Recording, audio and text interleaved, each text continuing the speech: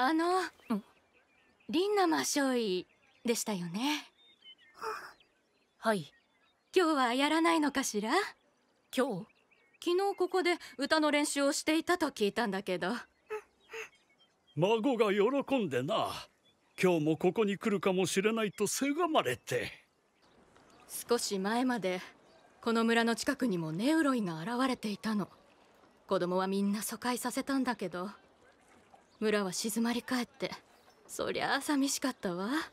ウィッチがネウロイを押し返してくれたおかげで子供たちは戻ったんじゃがなかなか以前のようにはいかなくてな。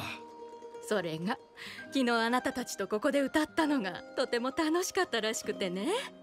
子供たちのあんな笑い顔を見たのは久しぶりだったわ。笑い顔ですか？昨日はあんたたちに失礼な態度をとって本当にすまなかった。とても感謝しとる。いえ私は。ちっとも。お姉ちゃんもウィッチでしょ？昨日のウィッチとは違うね。違うけどウィッチだよね。お姉ちゃん歌うウィッチなの？ねいや私は。えまた歌って。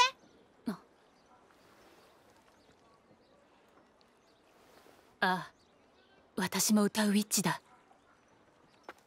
ああまたアイラ様と一緒になるのが辛い。嬉しい。でも辛い。じゃあ歩いて帰る？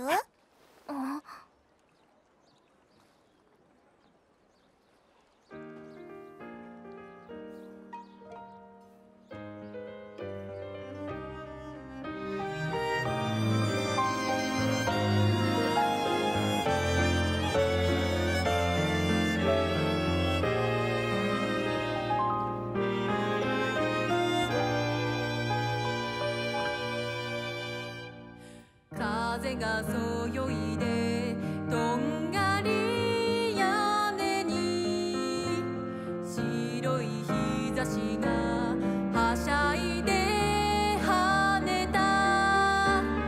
今もまぶたと